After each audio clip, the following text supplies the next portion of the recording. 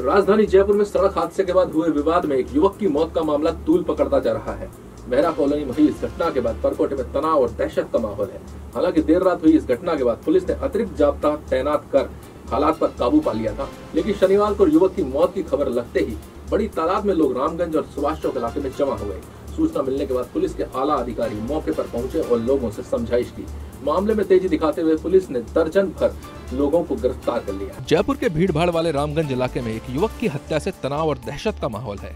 बाइकों की टक्कर के बाद यह विवाद शुरू हुआ था। इस दौरान झगड़ा कर रहा एक युवक इकबाल रोकने आए लोगों से गाली गलौज करने लगा। इसके बाद लोगों ने सरिये और डंडे से ताबड़ तोड़ वार कर इकबाल को लहूलुहान कर दिया, जिसके बाद अस्पताल में उपचार के दौरान उसकी मौत हो गई। इकबाल की मौत की खबर मिलते ही गुस्साए लोगों ने पहले एसएमएस अस्पताल में हंगामा किया और फिर रामगंज बाज़ार में आज सुबह करीब 10 बजे जाम लगा दिया। मौके पर मौजूद पुलिस और प्रशासन के अधिकारियों ने प्रदर्शन कर रहे लोगों से बातचीत कर उन्हें समझाया। वहीं उनकी मांगों को लेकर भी चर्चा की। करीब तीन घंटे समझाइश के बाद लोगों ने जाम हटा लिया और बाज़ार भी खुल गया। बताया जा रहा है कि एक्सीडेंट के बाद इकबाल ने मौके पर खड़े एक बुज़ुर्ग से गाली गलौज कर दी थी। इसके बाद आसपास के लोगों ने सरिये और डंडों से उसकी पिटाई कर दी। इस दौरान उसके साथ मौजूद उसका छोटा भाई घबरा कर भाग निकला। वहीं इकबाल सिर में सरिया लगने से मौके पर ही अचेत होकर गिर गया। इकबाल के पैर, सिर और शरीर पर चोट के निशान मिले हैं।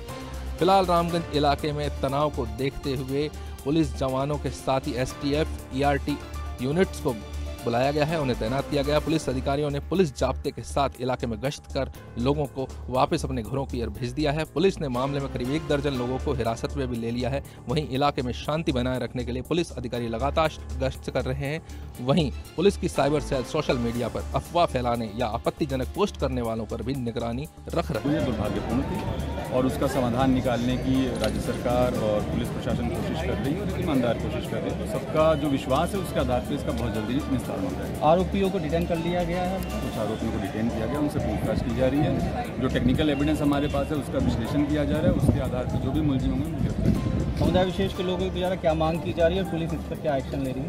मांग को लेकर भी बहुत यहाँ मौके पर स्पष्टता नहीं है।